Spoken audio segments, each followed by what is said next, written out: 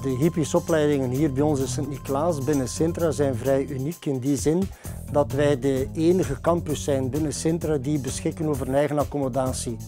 Wij richten vandaar ook alle opleidingen in, gaande vanaf de leertijd. Dus zijn de jongeren vanaf 15 tot 18 jaar, tot en met de postsecundaire opleidingen. En daar hebben we wel een aantal, zoals manegehouder, paardenfokker en zelfstandig instructeur. Het verschil tussen die opleidingen is ook dat je bij andere opleidingen praktijkrijvaardigheid hebt en bij sommige niet. Bijvoorbeeld paardenfokker, daar zit in het programma geen rijden in, geen dressuur of springen. Dus mensen moeten daarvoor ook niet deelnemen aan een instapproef. Manegehouder en zelfstandig instructeur daarentegen daar is het heel belangrijk dat je rijvaardigheid voldoende hoog is en dus moeten de cursisten eerst en vooral deelnemen aan een instapproef vooraleer ze toegelaten worden tot de opleiding.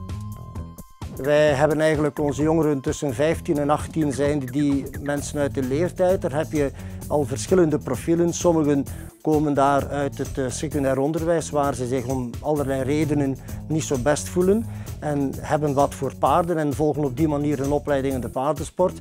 Maar daarnaast hebben we eigenlijk ook al mensen die internationaal in de sport bezig zijn en die op die manier, zelfs op die jonge leeftijd, een, een bewuste keuze komen maken.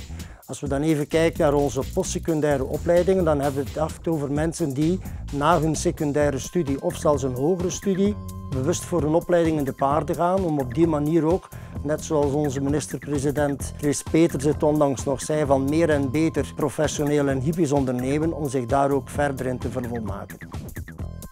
ik denk dat we heel wat troeven eh, naast elkaar hebben, waar vroeger een situatie bestond dat er in Vlaanderen geen enkele postsecundaire opleiding was en mensen die dus echt wel paardenman waren en daar ook een, een job wilden van maken, verplicht werden om naar het buitenland te gaan, kan dat nu binnen Sintra worden gevolgd. Wat inhoudt dat je bijvoorbeeld binnen het kader van een voltijdse dagopleiding, gekoppeld aan een eh, stagecontract, echt wel een professionele hippiesopleiding onder leiding van docenten die ook wel met beide voeten in de praktijk staan, dat je die opleiding hier bij ons kunt volgen.